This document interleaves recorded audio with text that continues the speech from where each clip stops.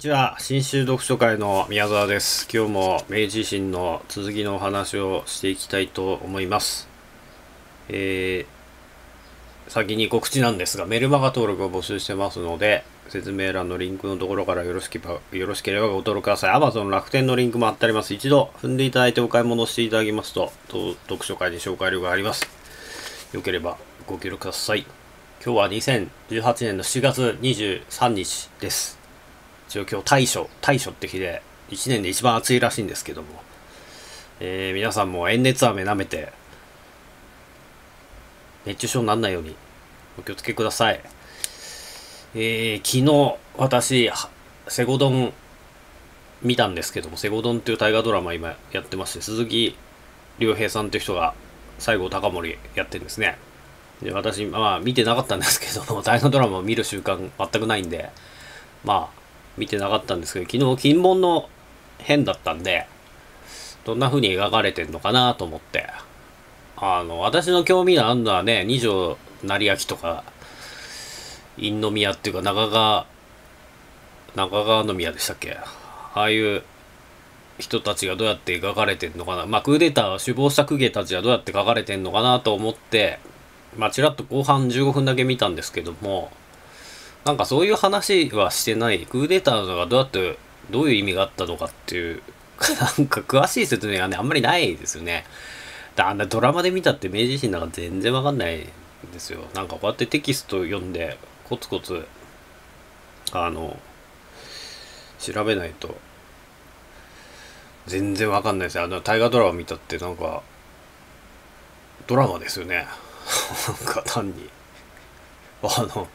人間関係が全然わかんないし、すげえフィクションだし。何がびっくりしたとかって、まあ、長州藩がその、長州藩の、まあ、何ですか、正義派っていう人たちですかね。えー、まあ、あの、尊王攘夷の過激派の人たちが、御所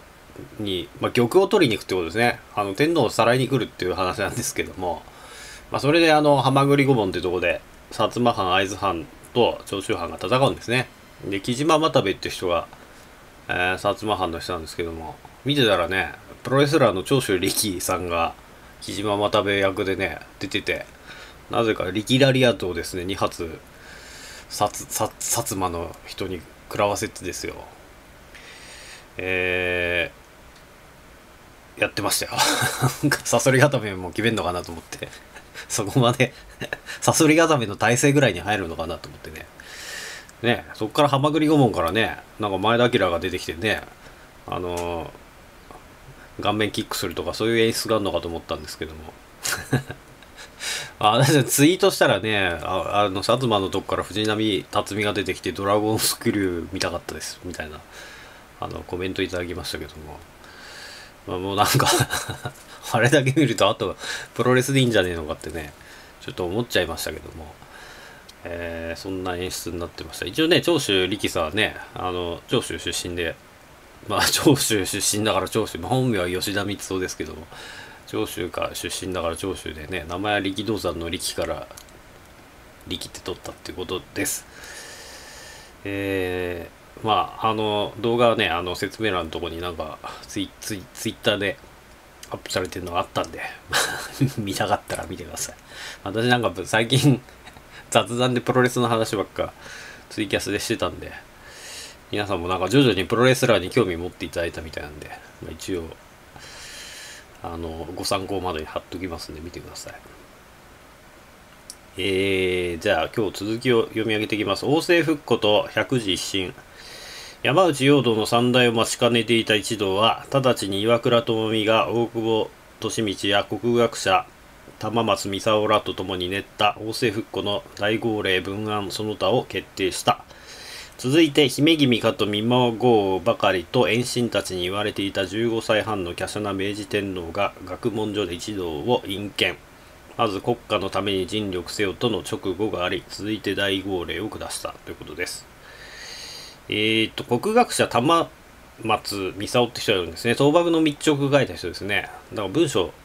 書く人ですね。ななんかやっぱその朝廷の形式にのっとった文章の書き方っていうのがあってそういうのをやってる人いるんですよね。でそれがないと命令を出せないんですね。正式な正式な公文書にならないと。玉松美沙みたいな国学者がいないと正式なあの公文書にならないっていう役割を持ってる人がいると。私日本の歴史の今第5巻だっけ6巻7巻かあの頼朝のとこもね頑張って読んでんですよ。源頼朝もやっぱり鎌倉に幕府を開くにあたってたくさん苦行たちをあのこうこういうけ命令文とか出すための苦行ですよ。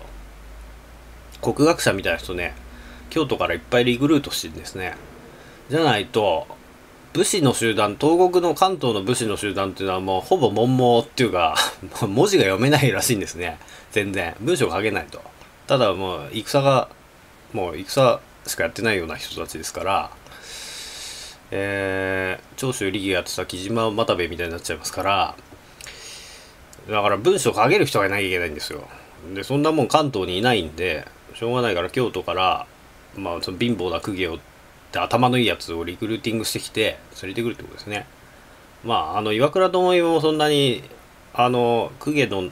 公家の中ではいい家柄じゃないんですけどもまあ頭が良かったんですね。でそうやってなんかこうくすぶってる下級武士がまあ朝廷内でのクーデターを起こすってことですね。こういうのがまあ何度も歴史上は行われてると。頼朝はそういうのを利用して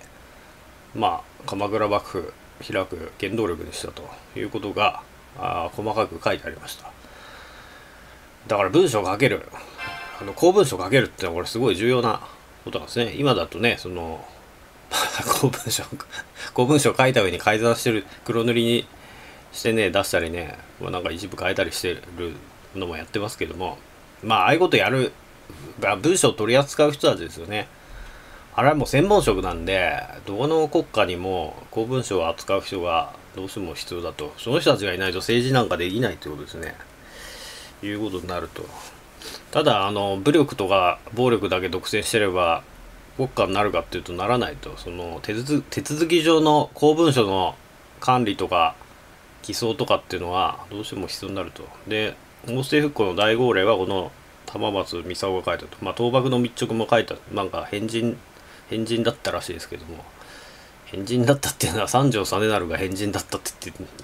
るの前ご紹介しましたけども、えー、王政福の大号令の文案を書いたってことですね。岩倉智美はあの大河ドラマはね笑福亭鶴瓶さんがやってるんですね。勝海舟が遠藤健一ですからね。なんかすげえキャスティングだなと思って。なんかめまいがする。なんか見る気なくなるっていうかね。なんかすげえなと思って。えー、あれね、松田翔太さんですね。松田優作さんの息子ですよね。あれが、あの、一橋慶喜でしたけど、なんか、一橋慶喜ってこんなキャラクターだったんかなって。もう全然、なんか au の CM にね、出てれば、なんかあの、ももちゃんと一緒じゃねえのかと思ってね。なんかもうむちゃくちゃだなと思って見てましたけども。えー、毎週長州力が出てくるならね、ちょっと私も録画してみたいとこですけどね、毎週プロレスラーがね、出てくれんならね、ちょっと、それを楽しみに、それを突っ込むためにだけ見ますけども、えー、なんか、ひどい、ひ、ひなんかね、ちょっと、ちょっとやっぱ見る気になんねえなと思いました。えー、で、続いて大、まあ、あの、15歳で即位したんですね、明治天皇で。姫君かと見まごうばかり華奢だったということで、写真はね、画面に貼ってあります。貼っときますけども。続きです。えー、大号令の内容ですね。徳川内府過去内大臣、従前委任の体制返上、将軍職自体の領上、今般断然寄越し召され候そもそも水のと牛、嘉永6年以来、未曾有の国難、選定、貧年、新宿を悩ませられ、候ご次第は、収書の知るところに候ってことです。まあ、徳川幕府徳川一橋慶喜があ体制を奉還したと、まあ、政治政治権力というか政治の実権を朝廷に返したわけですね。で将軍職も、えー、辞めるって言ったんで辞めるって言い出したと。でまあそもそも嘉永6年から国難だったと。でまあ孝明天皇先帝の孝明天皇ももうずっと眠れないと生活上もう生活に支障がきたすほど悩んでたと。それは皆さんご存知の通りですということですね。手続きです。これよりえー、栄を決せられ、王政府国国威挽回のご起立、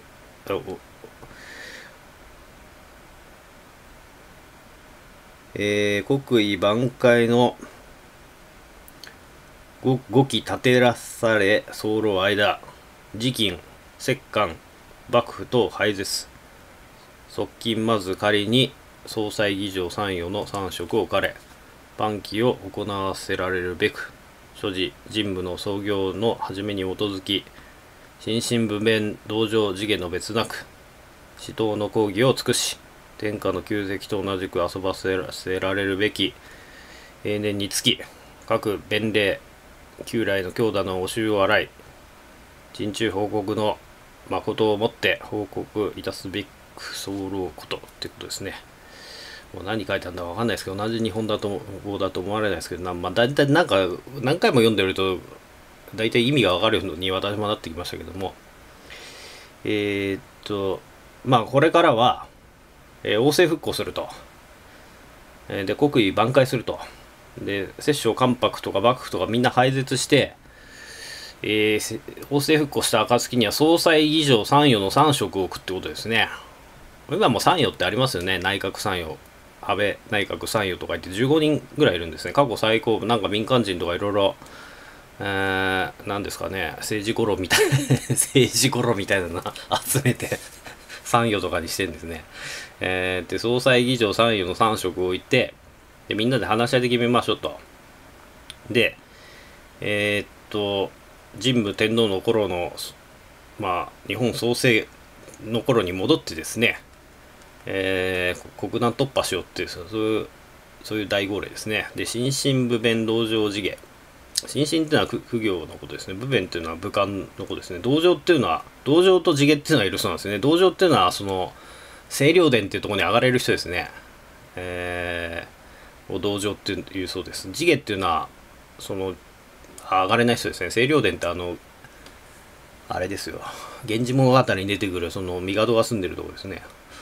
上がれる人と上がれない人で同情地下って区別つくと。で、そういうあの身分の別なくみんなでよく話し合って、えー、みんなで頑張って、えー、怠け癖を改めて人中報告で、えー、お国のために誠をもって奉公しましょうっていう大号令を出したということです。これは明治天皇自ら出したと。まだ玉松操が書いて出したってことですね。これはまあ一応こういう格調高い文章を書ける人は玉松操しかいなかったいなかったってことですね。で続きです。大号令はこれに続けて旧来の朝廷の一切の市政官職の廃止を選し、新しい三職を任命している。すなわち総裁には有栖川宮樽人親王を当て議場として2人の親王と中山忠康扇町三条実成中見門常幸の三卿及び前前前尾張藩藩主徳川義勝前越後藩主松平義長、えー、秋藩摂氏浅野重子と前土佐藩土佐藩主山内、えー、淀薩摩藩主島津忠義の5人を任命したということです。えー、総裁はアリスの、アリス川宮樽人って人ですね。アリス川、アリス川家ってなったんですね。前なんか偽皇族現れてアリス川家の人だって言ってね、なんか勝手に芸能人呼んでパーティーやってて捕まっちゃった人いましたけども、アリス川宮樽人っていう人がこれ総裁になったと。で、議場、総裁と議場と参与がありますから、議場としては、あ2人の親王と、まあ、中山忠康、扇町三条さんである中見門常幸、この倒幕の密直に署名、捺印した人たちですね。署名、捺印はしてないのか、顔は書いてないな、署名だけしてた人ですね。あとは5人の5校ですね。尾張藩、一前藩、秋藩、土佐藩、薩摩藩の藩主、元藩主とか藩主ですね。あと3位には大原重富。大原重富っていうのは、あの、薩摩藩と一緒にえー、江戸まで行って何ですかあの言った人ですよね昔ね昔説明しましたけど、まあ、ゴリゴリの尊王攘夷の苦行ですねあと万の工事広房長谷信厚岩倉智美橋本瀬穴の極用が任命されたということですえー、なお尾張越前秋土佐薩摩のご飯から3人ずつの参与を任命することにしその人選は各藩に任せた。ということです。えー、まあ参与には5人の苦行とあとは3人ずつまあ5校ですね。尾張越前秋土佐薩摩藩からも参与を出すということです。でそのその任命権は人事権は各藩が、まあ、3, 3人ずつ自分のポスト持ってるってことですよね。自民党ではなんか派閥から3人ずつなんか大臣出すみたいなね感じですよね。で続きでさらに大号令は申請の方針めいたもの5項目を明らかにしてるがその3項目目と4項目目は注目にすべきものがある。旧兵ご一戦につき元路の道倒壊され早漏間見込みある。向きは貴船にかかわらず忌憚なく権限いたすべく人材登用は第一のご急務に早漏ゆえ心当たりの陣これあり早漏和ば早々現状あるべく早漏こと第3項。まあ、元元路倒壊っていうのはですね、元路倒壊。みんなでよく話し合うと十分っていう話ですね。で、まあ、アイデアがあるやつは、もう、規制にかかわらず、まあ、その、一般人でも、忌憚なく、あの、アイデア出してくれと。で、人材登用ですね。優秀な人材をどんどん登用していくのが急務だから、いいやつがいたらどんどんどんどん推薦してくれってことですね。これが第3項。で、第4項ですね。近年物価、えー、閣外に投機いかいかんともすべからざる勢い不者はますます富を重ね貧者はますます困窮に至り候趣一挙精霊不正によりいたすところ。民は王者の大砲百実心の折から方々心中を悩ませられ候地望縁式旧兵の策これあり候わば。誰彼となく申しいずべく候ことってことです。まあ、インフレになっちゃってると。インフレになると、これは格差が広がっていくんですね。インフレになるとなんで格差が広がっていくかっていうと、物の値段が上がると買い占めるやつが現れるんですよ。お金に余裕があるやつは買い占めてよく余計高く売るわけですね。あ、だから高く売るっていうか、買い占めて値段を上げちゃうわけですね。えっと、買い占めと投機が起こるわけですよ。これはもう必ずインフレになると買い占めがと投機が起こるっていうのは、これはもうフランス革命の頃からそうですから。で、これをやられちゃうと社会不安が起こると、もうパンの値段とか米の値段がガンガン上がると一般庶民が生活上あの支障をきたすということになります。で、貧しい人はますます貧しくなると。で、これじゃまずいってこと言ってるんですね。で、えー、まあ、民というか一般庶民こそ国民こそが国の宝だと。で、えー、まあ全て改革していくから、えー、アイデアがあるやつは 申し出ろってことですね。こういうこと言ってんですね。で続きです。元路東海人材登用すなわち身分の低い藩士や豪農豪商での有志にもえー、国政について意見を述べる道を開き、思い切って人材を登用せよという言葉ことは、ペリー来航以来の改革派、尊王攘夷派が彼らの藩庁にも幕府にも朝廷にも要望し続けてきたことであった。今それが新政権の大方針として示された。また、民の苦しみを救うということは、言葉だけなら遠く120年前の大化の改新の消直にもこれと似たような文句が見え、ある者は数百万の数万の数万丁の土地を持ち持ちある者は針を刺す。土地もない。貧富の差はますます大きくなっているが上を損じ下を益すべきであって民の財を傷つけ民を損なうなとあったものだ。この種の宣言は新たに権力を握った先制支配者の決まり文句のようであるが今回はのそれには実感がこもっていた。ということです。